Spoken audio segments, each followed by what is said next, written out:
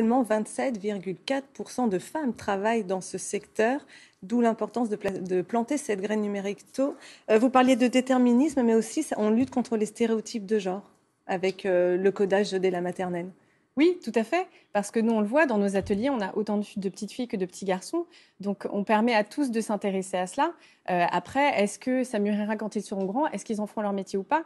Peu importe, ils auront tous, en tout cas, les mêmes chances pour l'avenir, que ce soit les filles ou les garçons. Est-ce que ça permet aussi de développer euh, plus de confiance ou plus de créativité aussi chez les, enfants? Oui, euh, dès lors qu'on leur permet de découvrir de nouveaux terrains qu'ils ne connaissent pas nécessairement.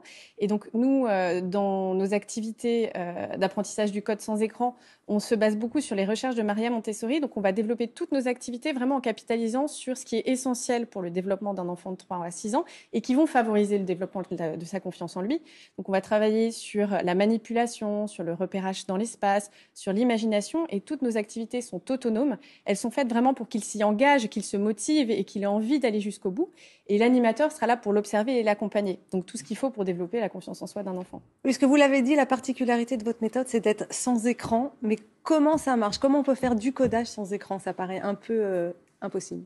Alors oui, effectivement, mais justement, comme, je vous le disais, on va vraiment aller capitaliser sur la manipulation, euh, sur l'imagination des enfants. Et vous avez comme un petit robot, par exemple. Voilà, on a un petit robot qu'on va manipuler, qui est en bois, et à qui on donne des algorithmes. Donc on explique aux enfants comment ça fonctionne, grâce à une plateforme sur laquelle on va déposer des jetons.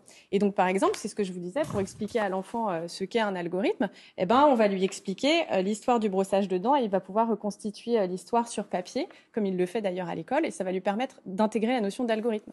On a aussi un conte en cinq chapitres, donc qui raconte les histoires de Pierrot et Justine qui reçoivent un petit robot qui s'appelle Ayo.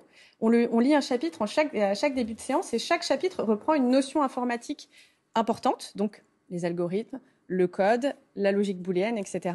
Oui, parce que euh, vous utilisez aussi vraiment euh, le vocabulaire précis, c'est-à-dire qu'il n'y a pas de tabou non plus sur les mots. Pourquoi c'est important aussi d'utiliser tout de suite les bons mots et le bon vocabulaire qui peut parfois effrayer aussi, euh, en tout cas chez les adultes? Oui. Alors, je pense qu'il faut euh, compter déjà sur les super pouvoirs des enfants entre 3 et 6 ans.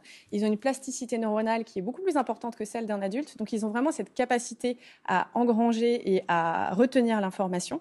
Euh, et en plus, euh, on, on, va tout faire, encore une fois, pour faire en sorte que l'enfant s'implique vraiment dans l'activité qu'il fait, le motiver, et ça va vraiment participer à cette assimilation. Et il est très important, dès le plus jeune âge, de nommer les choses, en fait.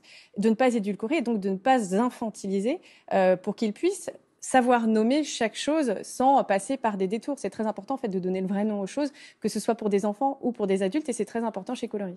Alors aujourd'hui, où est-ce que ces enfants peuvent apprendre votre méthode? Alors, comme je vous le disais, on travaille beaucoup euh, à l'école et en centre de loisirs pour pouvoir s'adresser à tous les enfants. On est aussi dans différents lieux d'accueil. Par exemple, on travaille avec la Gaieté Lyrique qui euh, accueille des enfants euh, toutes les semaines à Paris ou avec les petits bilingues qui font des cours d'anglais pour les enfants. et on propose aux entreprises, via les comités d'entreprise, aux parents de découvrir les activités pour qu'ils puissent faire des ateliers auprès de leurs enfants ou qu'on les anime nous-mêmes. Et toutes les informations sur notre site sont sur notre site coloris.éducation. Eh ben, merci beaucoup, euh, Perrine Legal, d'avoir répondu à nos questions. Demain, on va parler des effets du masque sur nos voix.